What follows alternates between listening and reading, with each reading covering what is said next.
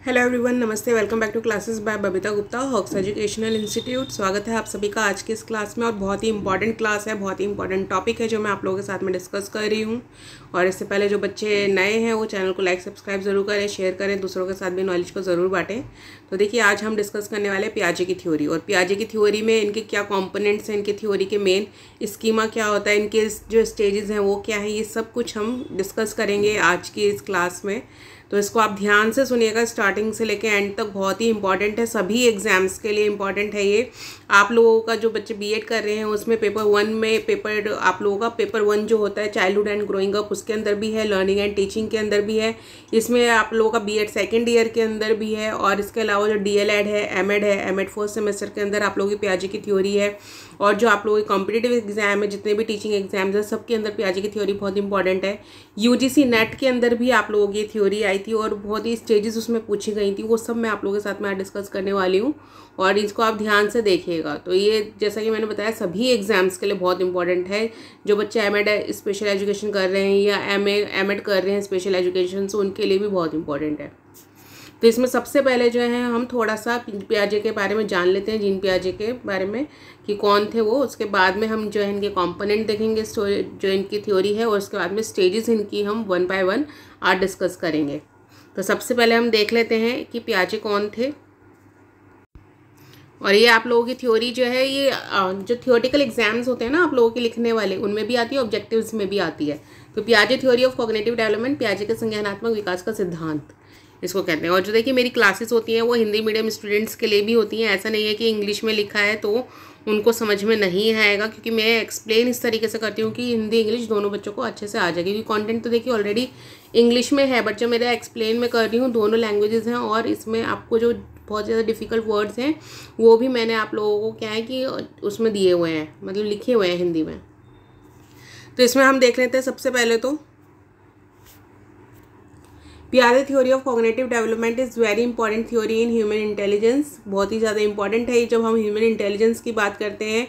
और it was originated by the Swiss developmental psychologist Jean प्याजे 1896 1980 ये किसके द्वारा बनाई गई है? क्योंकि जीन प्याजे की थ्योरी जीन प्याजे ने इसको प्रोपोगेट किया था। और ये जो बनाई गई थी जीन प्याजे का जो टाइम रहा था 1896 से लेकर 1980 तक का रहा था। स्विस साइकोलॉजिस्ट थे ये। तो वहीं पे ये वर्क करते थे बिनेट के जो इंस्टीट्यूट के अंदर। And प्याजे theory is mainly known as a developmental stage theory और जो इनकी थ्योरी है वो क्या है? किस लिए जानी जाती है? डेवलपमेंटल स्टेज के लिए जानी जाती है। जो इन्होंने फोर स्टेजेस दिए हैं ना वही क्या है? डेवलपमेंटल स्टेज है कि किस तरीके से एज के अकॉर्डिंग बच्चे जैसे जैसे एज बढ़ती बच्चे का कॉग्निटिव डेवलपमेंट भी इंक्रीज होता जाता है, बढ़ता जाता है और उसमें चेंज देखने के लिए मिलते हैं। और इसको हम क्या है? विकासात्मक चरण सिद्धांत भी बोलते हैं।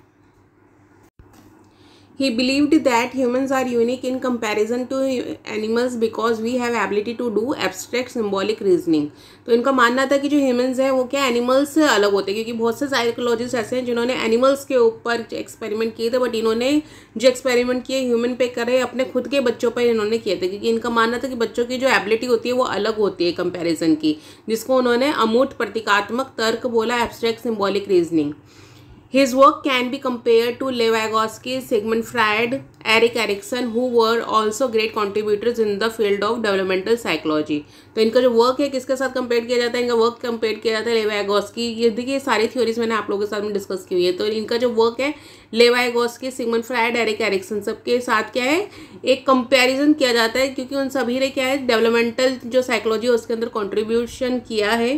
तो इसलिए देखिए, जो भी कॉन्ट्रीब्यूट करते हैं, उसमें कंपेरिजन तो होता ही है कि किसने किस तरीके की थ्योरी बनाई है। Basic components to Piaget's cognitive theory. तो देखिए, प्याज की कॉग्नेट, जो कॉग्नेटिव डेवलपमेंट की थ्योरी है, संज्ञानात्मक विकास की थ्योरी है, इसके जो बेसिक कंपोनेंट्स हैं, और बहुत ही महत्वपूर्ण घटक हैं ये तीन आप लोगों के। तो इनको आज हम डिस्कस करने वाले हैं, डिटेल में डिस्कस करेंगे। तो जिसमें आपका फ़र्स्ट कंपोनेंट आता है स्कीमास। तो इसमें भी आप लोगों का सी टेट से जो आप लोगों के क्वेश्चन आते हैं, या टेट एग्ज़ाम में क्वेश्चन आते हैं तो इसमें स्कीमा से भी क्वेश्चन आपका पूछा जाता है। नेक्स्ट इसमें process that enables the transition from one stage to another, यानी कि वन स्टेज से दूसरे स्टेज में जब जाते हैं तो उसमें क्या ट्रांजिशन होता है? तो ये प्रोसेस हम पढ़ेंगे और स्टेजेस ऑफ़ डेवलपमेंट तो चारों स्टेज जो है, हम डिटेल में आज हम पढ़ने वाले हैं कि स्टेजेस क्या हैं। तो इसमें सबसे पहले बात आती है स्कीमास की। पियाजे called the schemas the basic building block of intelligence behaviour in a way of organising knowledge तो जो प्याजे हैं इन्होंने इसकी मास को क्या बोला? बेसिक बिल्डिंग ब्लॉक बोला यानी कि एक बुनियाद बोला जिससे कि क्या है किसी भी बच्चे का बिहेवियर वो डिफाइंड होता है और वो अपनी नॉलेज को ऑर्गेनाइज कर सकता है। तो प्याजे believe that inborn babies have some innate schemas तो बच्चों को जो प्याजे हैं उनका मानना है जो इनबॉर्न बेबीज होते हैं यानी कि जो जन, बच्चे जन्म ही लिए होते हैं उनके अंदर क्या इनेट स्कीमास होते हैं वो भी क्या कुछ रिफ्लेक्स एक्शन करते हैं। नेक्स्ट इन्होंने बोला this neonatal schemas are the cognitive structure underlying innate reflex और ये जो नियोनेटल स्कीमाज हैं, जो जन्म से ही बच्चों को मिले हुए हैं, ये क्या है कि एक जो रिफ्लेक्स एक्शन है, वो उसके ज़रिए हमें दिखता है। तो अगर हम बच्चे का कॉग्नेटिव स्ट्रक्चर देख रहे हैं तो हमें क्या है इनेट रिफ्लेक्सेस देखने के लिए मिलते हैं। ये किसकी बात हो रही है? ये बात हो रही है इनेट चाइल्ड की, जो कि बहुत ही छोटा बच्चा जन्म लेता है जब।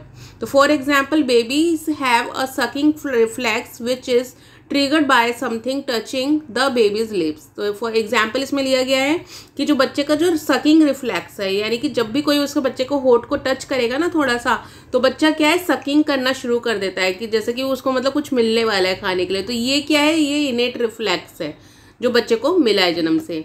नेक्स्ट इसके अंदर आपका आ जाता है।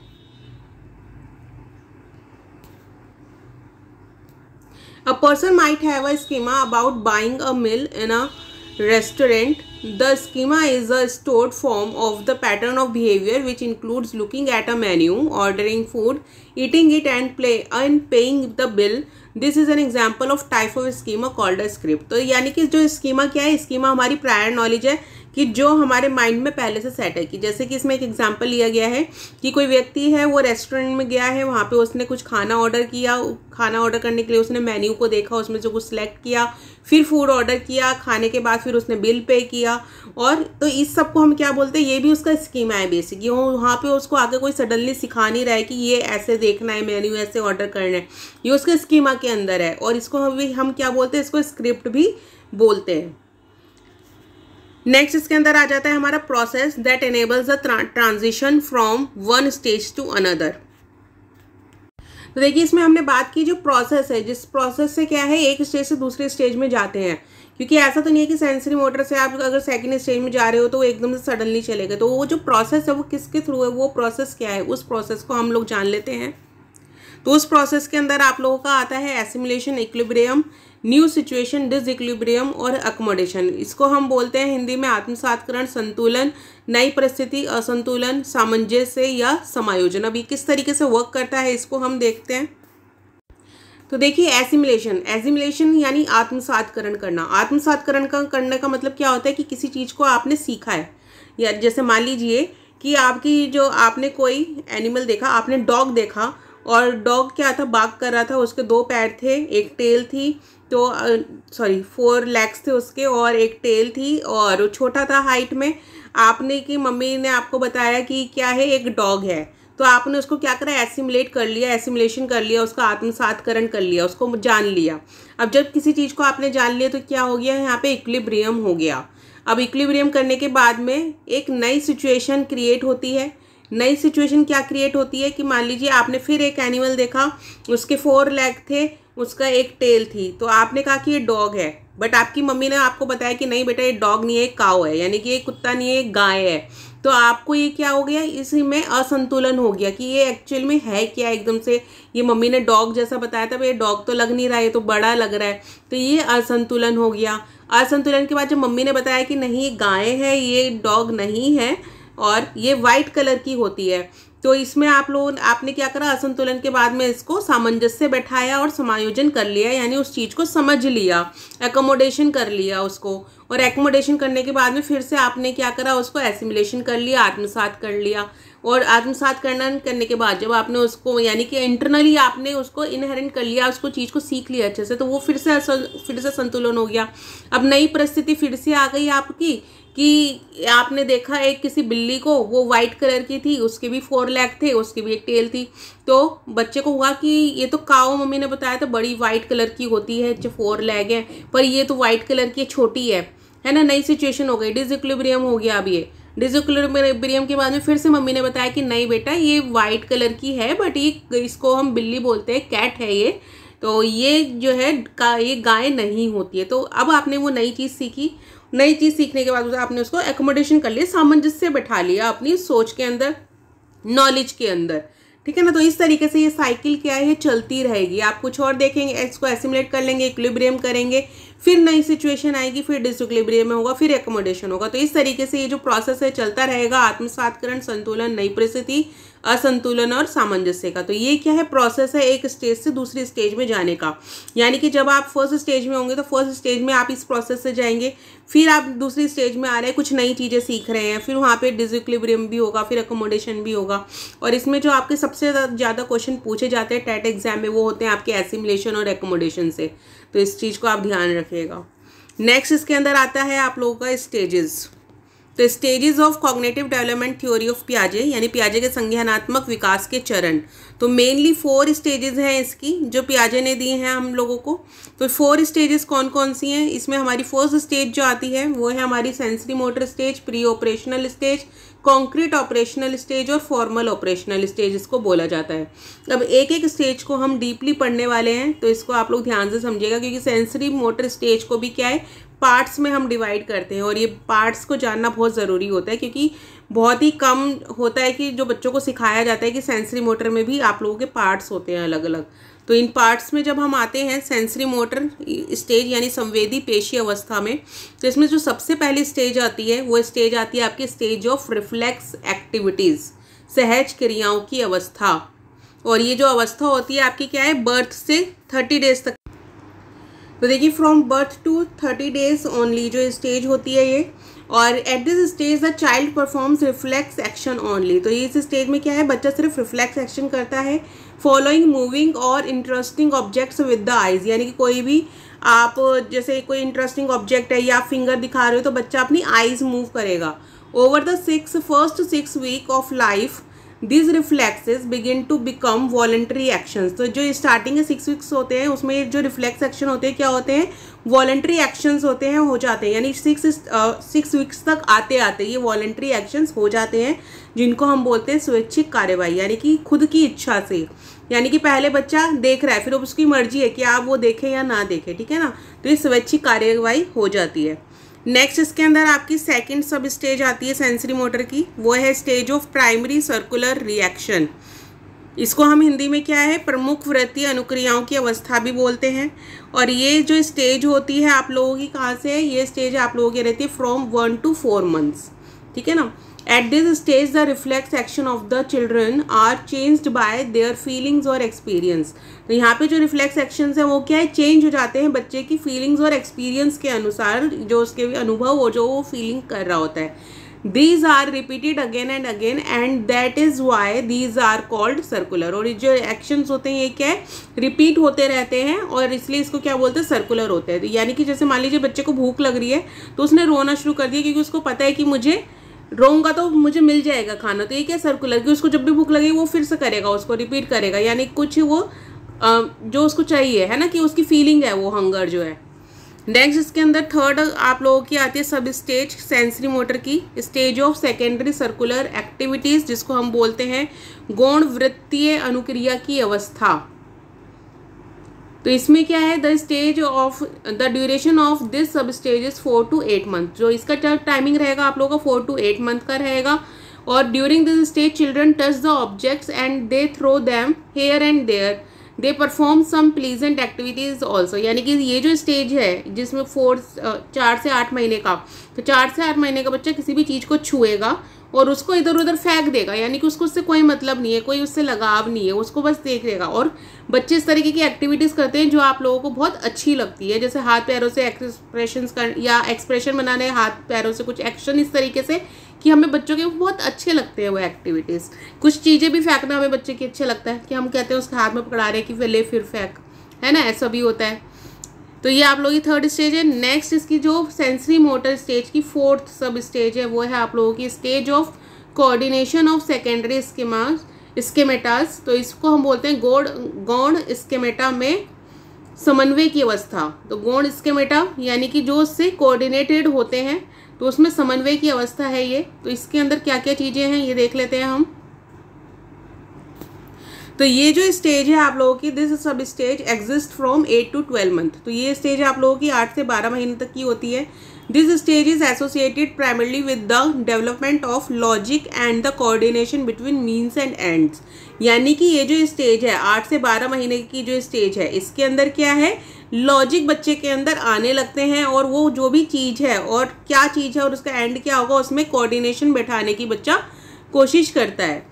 This is an extremely important stage of development holding what पियाजे calls the first proper intelligence और ये क्या है? बहुत ही इंपॉर्टेंट स्टेज है पियाजे के, जो सेंसरी मोटर के अंदर आती है, क्योंकि इसमें क्या है कि बच्चा जो फ़र्स्ट प्रॉपर इंटेलिजेंस अगर आपसे पूछा जाए कि फ़र्स्ट प्रॉपर इंटेलिजेंस किस स्टेज में आती है तो वो सेंसरी मोटर स्टेज आती है।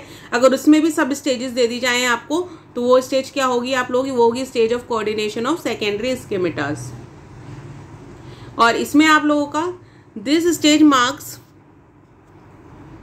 the beginning of goal orientation and the deliberate planning of steps to meet an objective. यानी कि बच्चा क्या है, इसमें एक गोल ओरिएंटेशन शुरू कर देता है, कोई गोल बनाना शुरू करता है और उसको पहुँचने तक कोशिश करता है। मान लीजिए एग्ज़ाम्पल के लिए कि आपने कोई टॉय है या मान लीजिए कार की चाबी है आपने, एक उस पर पैनल पे रख दी है। अब बच्चे का टारगेट क्या है कि मुझे वो चाबी, उसने वो देख लिया है और उसको लग रहा है मुझे ये चाबी चाहिए, मैं इससे खेलूँगा। तो वो प्लानिंग करने लगा कि मुझे उस तक जाना है। और उसके बीच में अगर कोई चीज़ भी है तो वो उसको हटा के उस तरफ़ जाने की कोशिश करेगा और अगर बिल्कुल ही अटक जाएगा तो रोना शुरू कर देगा। है ना? तो ये क्या है कि उसने एक प्लानिंग उसमें बनाना शुरू कर दी यानी कि वहाँ पे इंटेलिजेंस बच्चे के अंदर आ रही है। नेक्स्ट है इसके अंदर children learn schemes and they start generalising them जैसे कि मैंने अभी बताया कि जो बच्चे स्कीम भी बनाते हैं और उसको जर्नलाइज भी करते हैं। जैसे कि बच्चे का अभी मैंने एग्ज़ाम्पल दिया कि बच्चे ने एक कार की चाबी है, उसको बहुत अट्रैक्टिव लग रही है। तो और उसको ने आपके पैनल पे वो रख दिया आपने। तो वो उस तक पहुँचने के लिए क्या स्कीम बनाएगा कि मैं अब यहाँ से जाता हूँ? अगर बीच में कोई चीज़ होगी ना तो उसको हटाने की कोशिश करेगा और ऐसी चीज़ें जो वो हटा नहीं पा रहा है तो वो रोना शुरू कर देगा। यानी कि अब वो क्या है कि उसको जर्नलाइज कर रहा है, सामान्यकरण कर रहा है। कोई स्कीम बनाई, अब उसको सामान्यकरण उसको कर रहा है, उसको एप्लीकेशन में ला रहा है। नेक्स्ट इसमें आप लोगों की फिफ्थ स्टेज है sub stage of sensory motor stage तो इसको हम बोलते हैं stage of tertiary circular activities, यानी कि तृतीय वृत्तीय अनुक्राओं की अवस्था। और इस स्टेज के अंदर क्या क्या चेंजेस हैं, ये भी हम देख लेते हैं। ये जो स्टेज है, आप लोगों की ये रहती है ट्वेल्व से एटीन मंथ्स यानी कि बारह से अट्ठारह महीने, यानी एक से डेढ़ साल तक का जो बच्चा होता है। तो ये स्टेज वो होती है।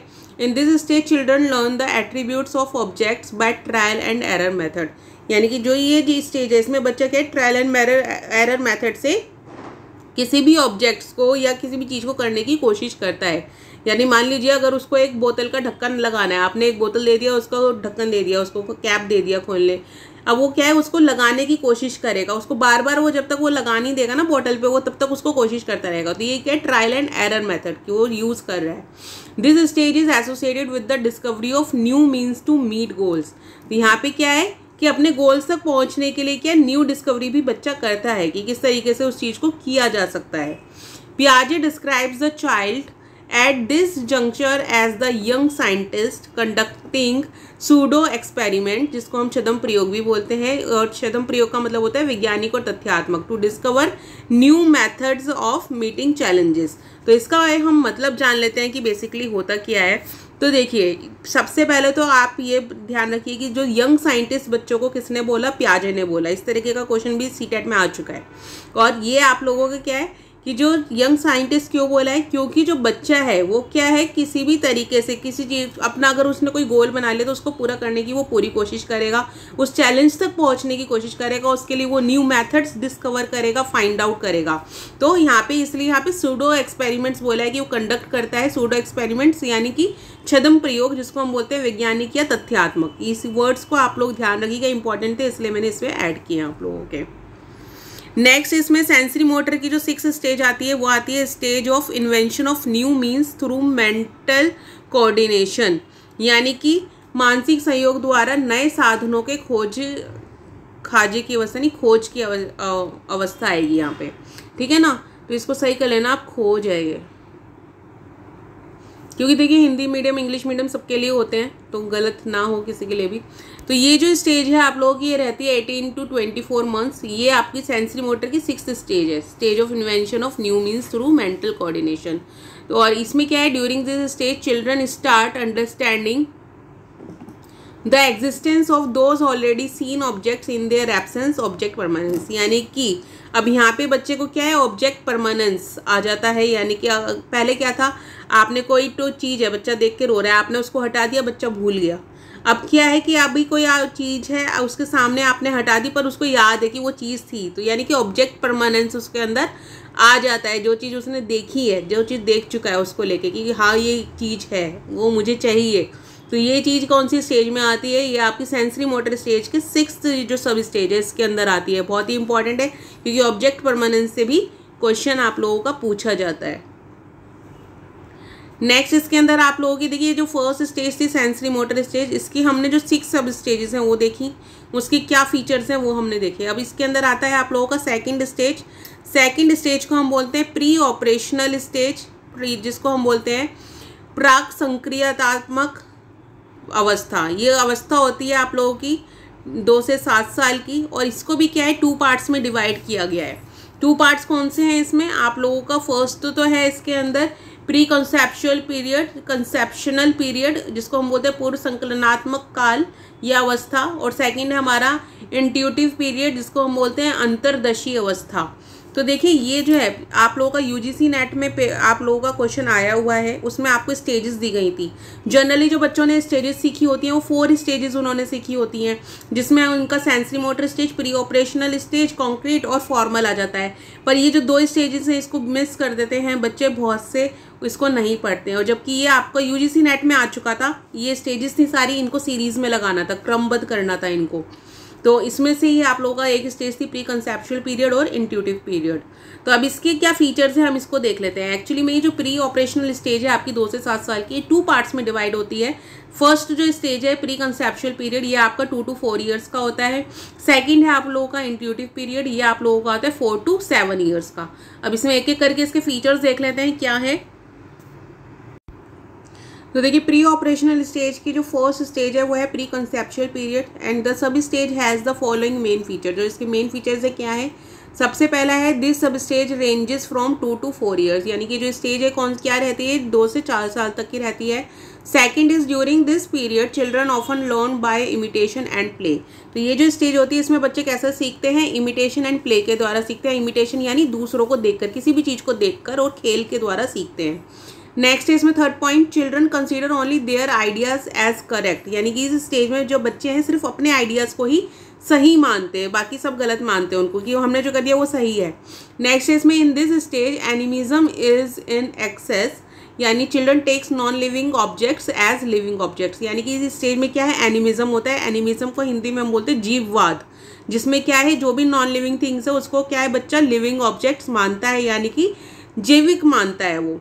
और इससे आप लोगों का टेट एग्ज़ाम में क्वेश्चन आ चुके हैं आप लोगों के कि एनिमिज्म जो है वो किस स्टेज में आता है, वो किस स्टेज में आएगा, आप लोगों का प्री ऑपरेशनल स्टेज में आएगा। अगर उसमें भी आपको ऑप्शन दे दिए गए कि जैसे प्री कंसेप्शुअल पीरियड है या फिर इंट्यूटिव पीरियड है तो वो प्री कंसेप्शुअल पीरियड के अंदर आप लोगों का आएगा। एनिमिज्म ठीक है ना? और इसमें क्या है, जैसे कि एक एग्ज़ाम्पल मैं ले लेती हूँ कि बच्चा अपनी डॉल से बात कर रहा है कि चलो खाने का टाइम हो गया, खाना खा लेते हैं। यानी कि जो डॉल उसकी नॉन लिविंग थिंग है, उसको वो कैसे कंसीडर कर रहा है? वो लिविंग थिंग की तरह कंसीडर कर रहा है एज अ ह्यूमन उसको कंसीडर कर रहा है। नेक्स्ट पॉइंट है इसके अंदर children identify objects by their name in the early part of the this stage for example all man are papa यानी कि जो ये जो स्टेज होती है ना बच्चे की प्री कंसेप्शुअल पीरियड इसमें क्या है बच्चा? किसी भी चीज़ का, जैसे कि किसी चीज़ का उसने नाम जान लिया, अब हर एक चीज़ को वो वही बोल रहा है। जैसे कि अपने पापा को कोई कह रहा है कि, अपने पापा को तो पापा ही कहेगा, खैर तो उसने देखा कि ये जो घर में एक आदमी घूम रहा है, वो मेरे पापा है। तो यानी कि जितने भी आदमी मेरे पापा होंगे तो यहाँ पे ऑल मैन आर पापा। कि जितने भी लोग हैं, उनको क्या है, पापा पापा कर रहा है वो। तो ये क्या है, किसी स्टेज में आता है, आपका प्री कॉन्सेप्चुअल पीरियड के अंदर आ रहा है। यानी कि वो सभी को क्या है, एक जैसा ही कंसिडर कर रहा है।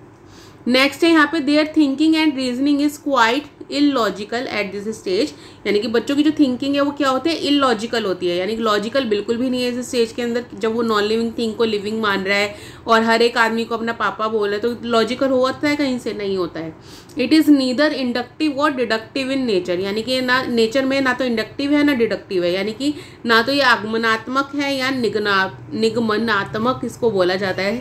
सॉरी इंग्लिश में थोड़ा निगमन बोला जाता है ना, निगमन नहीं है प्रकृति के अंदर। For example a cow is white and big hence all white and big animals are cow जैसे कि एक एग्ज़ाम्पल यहाँ पे दे दिया कि अगर काओ है वाइट है बिग है तो जितने भी वाइट और बिग एनिमल होंगे, सब काओ होंगे, ये बच्चे ने कंसीडर कर दिया। तो यानी कि ये क्या है? इलॉजिकल है। नेक्स्ट है, इसमें their thinking is much imaginative and away from reality जो बच्चों की थिंकिंग होती है, कैसी होती है? इमेजिनेटिव होती है और रियलिटी से अलग होती है, बिल्कुल। नेक्स्ट इसके अंदर आ जाता है the child sees the world only from his own stand point यानी कि जो बच्चे ने अपनी एक सोच बना ली सिर्फ़ उसी से क्या है, वो दुनिया को देख रहा है।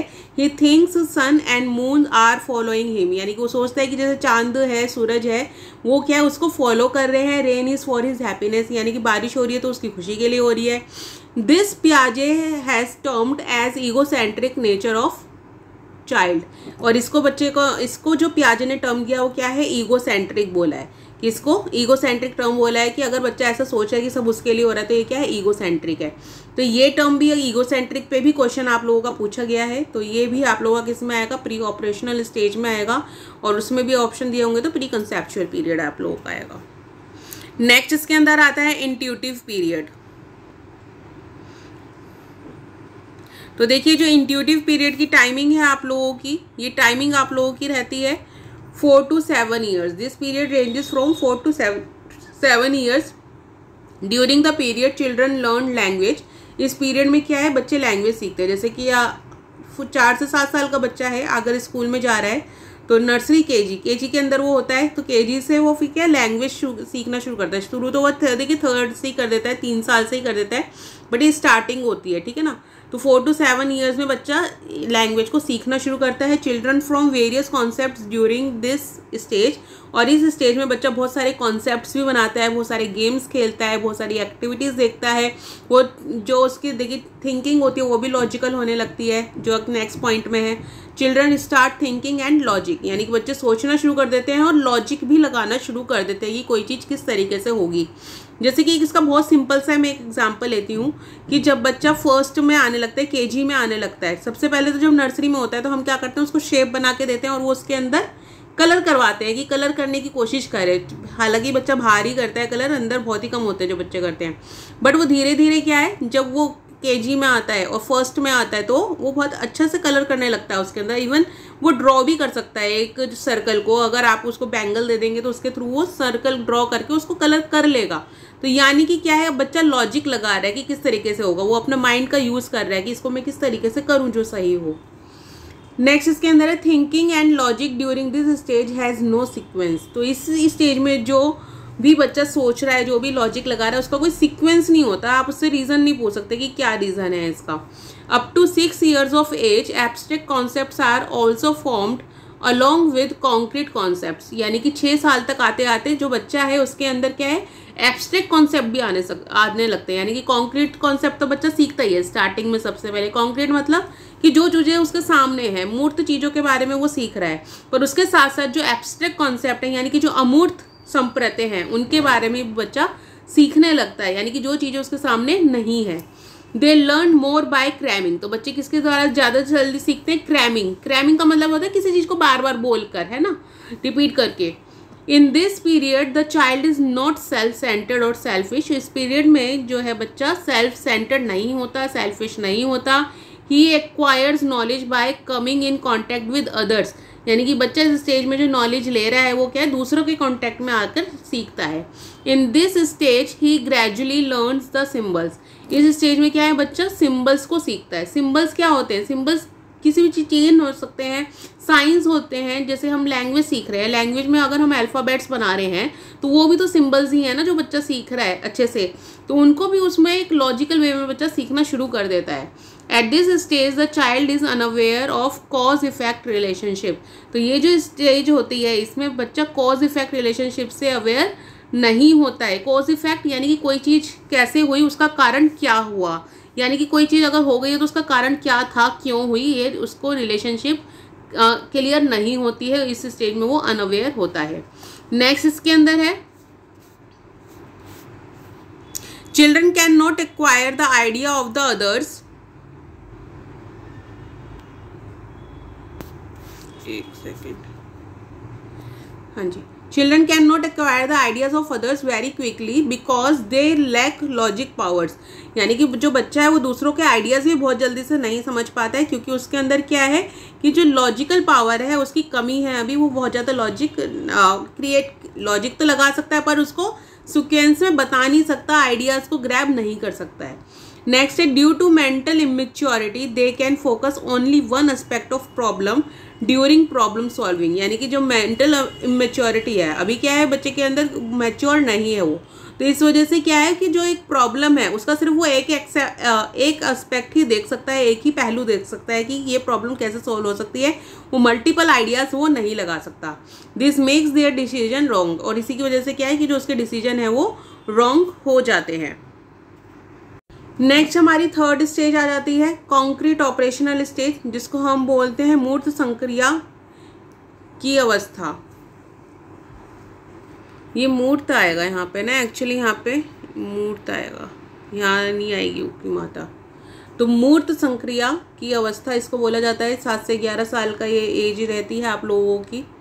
और इसके अंदर क्या है? In this stage intelligence is demonstrated through logical and systematic manipulation of symbols related to concrete objects तो इस स्टेज के अंदर क्या है? जो बच्चे हैं, वो सिस्टमेटिक जो अभी हमने कहा कि अभी तक नहीं थी तो वो जो सिस्टमेटिक एक मैनिपुलेशन है, वो और लॉजिकल जो वर्क है, वो बच्चे करने लगते हैं और किससे रिलेटेड होते हैं? कॉन्क्रीट ऑब्जेक्ट से रिलेटेड यानी कि जो चीज़ें उसके सामने हैं, उनके ज़रिए वो लॉजिक्स लगा सकता है सिस्टमेटिक वे में. अब इसके हम देख लेते हैं पॉइंट्स क्या क्या हैं फीचर्स क्या क्या हैं। तो इसका जो फ़र्स्ट फीचर है वो लास्ट में लिखा हुआ है, पहले उसी को हम पढ़ लेते हैं। तो देखिए इसका जो फ़र्स्ट फीचर है वो दिया गया है आपको in this stage ego centric thoughts diminishes यानी कि जो स्टेज है इसके अंदर आप लोगों का जो ईगो सेंट्रिक थाट्स होते हैं बच्चों के अंदर, यानी कि अभी हमने बोला था ईगो सेंट्रिक होते हैं बच्चे बट जो ये स्टेज है आप लोगों की कॉन्क्रीट ऑपरेशनल इसके अंदर ईगो सेंट्रिक जो थॉट्स होते हैं बच्चों के, वो खत्म हो जाते हैं। डिमिनिशेस का मतलब खत्म हो जाना, वो चीज़ अब नहीं है उसके अंदर। तो फ़र्स्ट पॉइंट है सेकेंड पॉइंट है इसका। ऑपरेशनल थिंकिंग स्टार्ट्स तो यहाँ पे क्या है, बच्चे की ऑपरेशनल थिंकिंग यानी कि किसी चीज़ को किस तरीके से करना है। तो ये जो एक थिंकिंग है, बच्चे की स्टार्ट हो जाती है। Intelligence is demonstrated through logical and systematic manipulation of symbols to concrete objects और ये जो है, इस स्टेज के अंदर क्या है, जो बच्चा है लॉजिकल और सिस्टमेटिक मैनिपुलेशन कर सकता है सिम्बल्स की, और जो कॉन्क्रीट ऑब्जेक्ट्स हैं उनकी, जो चीज़ें उसके सामने, उसके बारे में क्या है, वो सिस्टमेटिक वे में सोच सकता है। नेक्स्ट है, इसके अंदर children become more practical and realistic जो बच्चे हैं, वो क्या है मोर प्रैक्टिकल हो जाते हैं रियलिस्टिक हो जाते हैं। Develops problem solving capacities but concrete problems only not abstract problem यानी कि जो बच्चा है, वो प्रॉब्लम सॉल्विंग कैपेसिटी तो उसके अंदर आ गई है बट ये किससे रिलेटेड है? सिर्फ़ कॉन्क्रीट प्रॉब्लम से है, यानी कि मूर्त जो समस्याएँ उनके वो सिर्फ़ समाधान कर सकता है। जो एब्स्ट्रैक्ट प्रॉब्लम है, वो अभी तक उसके अंदर नहीं आया एब्स्ट्रैक्ट प्रॉब्लम को सॉल्व करना। नेक्स्ट है इसके अंदर can categorise objects on the basis of attributes यानी कि वो क्या है? चीज़ों को, जो भी उनकी क्वालिटी है, जो भी उनका फीचर है, उसके अकॉर्डिंग उनको कैटेगराइज भी कर सकता है। नेक्स्ट है इसके अंदर थिंकिंग इज़ नॉट सिस्टमेटिक यानी कि अभी भी जो इस थिंकिंग है, वो क्या है? सिस्टमेटिक पूरी तरीके से नहीं है। यानी कि अभी हमने बोला सिस्टमेटिक वो मैनिपुलेशन कर लेता है बट अभी पूरी तरीके से हम उसको सिस्टमेटिक नहीं बोल सकते, क्योंकि अभी वो अभी एब्स्ट्रैक्ट थिंकिंग नहीं कर पा रहा है।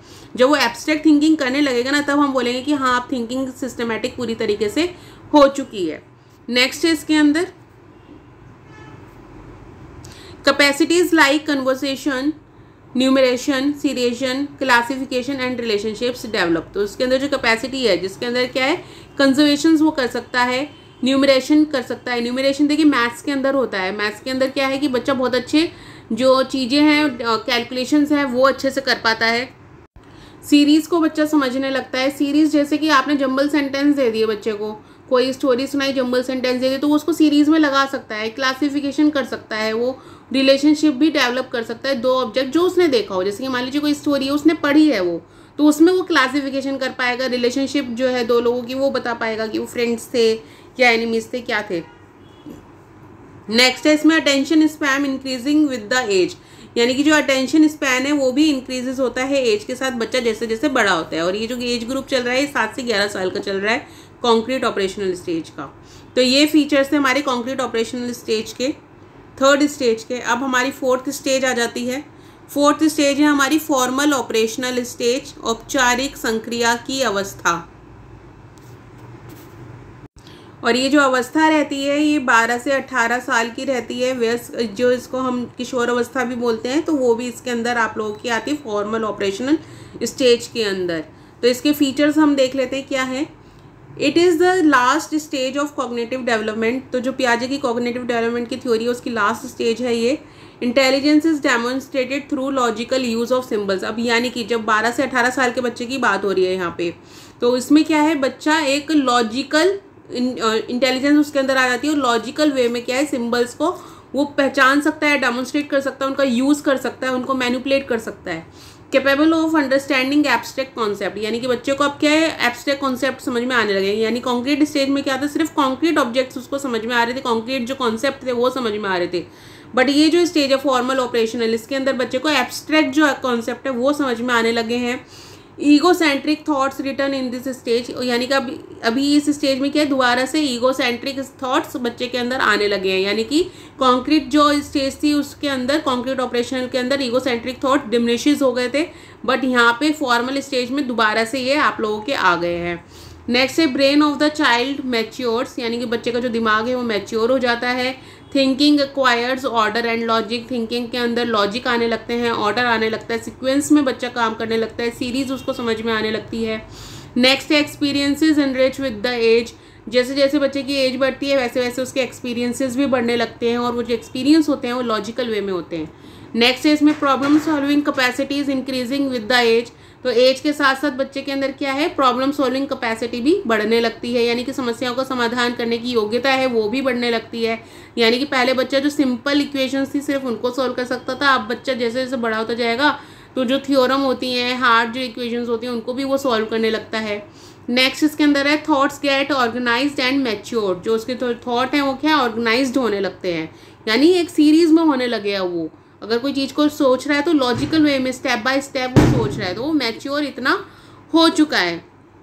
नेक्स्ट इसके अंदर है आप लोगों का child formulates new hypothesis and tries to prove तो यानी कि जो बच्चा है वो न्यू हाइपोथेसिस बनाता है, परिकल्पनाएँ बनाता है और उनको सच करने की कोशिश करता है, वो प्रूव करने की कि मैंने जो बनाया है सही है।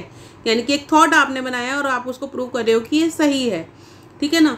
नेक्स्ट इसमें child can understand inconsistencies also तो जो बच्चा है इनकन्सिस्टेंसीज को भी क्या है, समझने लगता है कि वो किस तरीके से है। यानी अगर कोई चीज़ सही नहीं भी हो रही है तो वो उसको समझने लगता है। अगर कुछ गलत हो रहा है तो वो उसको समझने लगेगा। ठीक है ना? कोई स्टेप गलत हो रहा है, अगर थ्योरम कोई बच्चा सॉल्व कर रहा है तो उसमें भी कोई स्टेप गलत हो रहा है तो उसको समझ में आ जाएगा। नेक्स्ट है इसके अंदर he can project real experiences in artificial environment यानी कि जो आर्टिफिशियल इन्वायरमेंट के अंदर वो रियल जो होते हैं ना एक्सपीरियंसेस वो भी क्या है? एक तरीके से समझ सकता है, उसको फॉलो कर सकता है। यानी कि एक अप्लाई एक होता है ना एप्लीकेशन करना, किसी चीज़ को हम माइंड में सोच रहे हैं कि किस तरीके से ये हो सकती है। तो वो चीज़ वो बच्चा कर सकता है, क्योंकि एब्स्ट्रैक्ट थिंकिंग उसके अंदर आने लगी है। तो ये आप लोगों के जो फीचर्स थे, ये फीचर्स थे आपके फॉर्मल ऑपरेशनल स्टेज के फोर्थ स्टेज तो इस तरीके से चार स्टेजेस मैंने आप लोगों के साथ में शेयर की हैं। और ये लास्ट में एक देखिए लाइन लिखी हुई है ट्वेल्व टू एटीन ईयर्स ही होता है starts after twelve years and last till adulthood यानी कि व्यस्त अवस्था तक ये आप लोगों की जो फॉर्मल स्टेज है, ये रहती है. एंड आई होप कि ये आप लोगों को सारे फीचर समझ में आए हों, क्योंकि मैंने बहुत मेहनत ली है मुझे पी तैयार करने में आप लोगों के लिए, जिसमें मैं मेन पॉइंट्स सिर्फ़ आप लोगों के साथ में शेयर कर सकूँ डिस्कस कर चुक कर सकूँ. और अगर फिर भी कोई आप लोगों को कोई प्रॉब्लम रह जाती है तो आप कमेंट बॉक्स में लिखकर पूछ सकते हैं। और क्लास अगर अच्छी लगी, आपको समझ में आया अच्छे से तो अच्छे अच्छे कमेंट ज़रूर करें वीडियो को लाइक ज़रूर करें चैनल को सब्सक्राइब करें और दूसरों के साथ भी नॉलेज को ज़रूर शेयर करें। तो आप लोगों के लिए जो इंपॉर्टेंट टॉपिक्स है वो मैं लेकर आती रहूँगी और ये बहुत ही इंपॉर्टेंट टॉपिक था आप लोगों का प्याजे की थ्योरी हर एक एग्ज़ाम के अंदर। चाहे वो सी टेट है के वी एस है, आप लोगों का यू जी सी नेट के अंदर भी आप लोगों का एक पेपर में आए हुए हैं क्वेश्चन इससे। तो इसको आप लोग अच्छे से पढ़िए स्टेजेस को ध्यान से देखिए, सब स्टेजेस को ध्यान से देखिए और उनके जो फीचर्स हैं उनको ध्यान से पढ़िए। और जैसा कि मैंने बताया, अगर कोई डाउट होता है तो कमेंट बॉक्स में लिखकर आप पूछ ही सकते हैं। तो मेरे साथ इसी तरीके से बने रहिए और जो प्रीवियस जितने भी वीडियोस में शेयर कर चुकी हूँ टॉपिक शेयर कर चुकी हूँ, वो सब आप लोगों को प्लेलिस्ट में मिल जाएगा। तो प्लेलिस्ट पर जाकर आप लोग उनको ज़रूर देखिए और अपने एग्ज़ाम की तैयारी आप लोग अच्छे से करते रहिए। और मेरे साथ इसी तरीके से बने रहिए। जल्दी मिलती हूँ नेक्स्ट टॉपिक के साथ में। तो अभी के लिए थैंक यू धन्यवाद।